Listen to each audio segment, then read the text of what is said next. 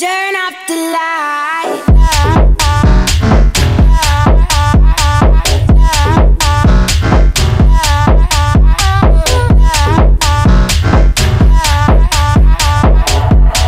Just turn off the